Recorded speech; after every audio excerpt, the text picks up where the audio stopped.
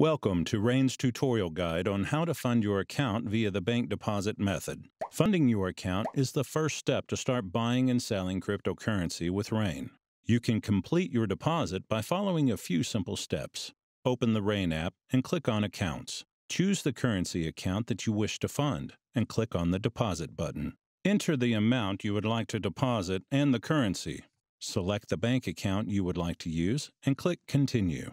Check the Confirm Deposit page to make sure all the information is correct. Click Get Instructions. Check your email for deposit instructions. This email contains the bank information you need to make the transfer from your bank account, whether it is via your bank's online portal or application. Make sure to make a bank transfer in the currency you selected to the same currency account of RAIN. And remember, RAIN does not pull funds automatically from your bank account, and you will need to make the transfer.